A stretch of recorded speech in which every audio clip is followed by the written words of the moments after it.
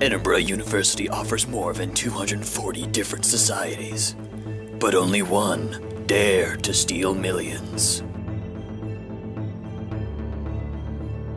No one noticed. They stole almost 1.5 million pounds and no one noticed. It's very easy to miss them. They weave their way right past us. I mean, most people who first hear about this society think they think it's a joke. And yet, they managed to pull off the greatest money fraud operation this department has ever encountered. The scheme worked by taking money from members at the start of the year to invest in Harris Tweed, then using word of mouth to expand the pile, meanwhile rewarding the initial investors. They would then keep the money, claiming that the Tweed factory shut down.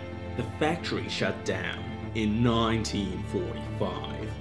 But by the time anybody had figured this out, they managed to pull the wool over the eyes of dozens of vulnerable students. Dozens! When I realised that the society was founded on a tapestry of lies, it was too late. I tried to get out and tell someone about what was going on, but KnitSoc wouldn't let me get away. I started to notice them following me everywhere I went. They weren't afraid to get their hands dirty. Also, I think I've developed some kind of wool allergy.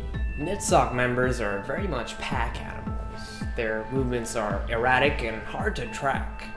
We've repeatedly tried to determine their motivations and have come up short.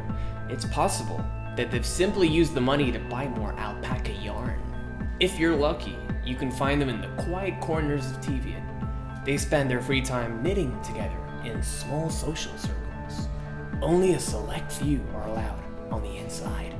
They were completely under the radar for so long because nobody expected that these tranquil people were capable of something so criminally ingenious.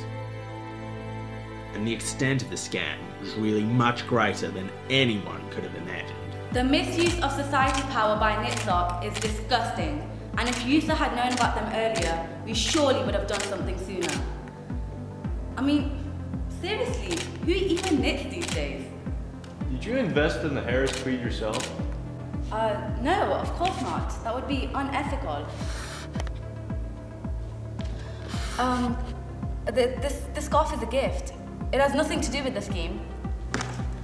That's it. Uh, this press conference is finished. Thank you.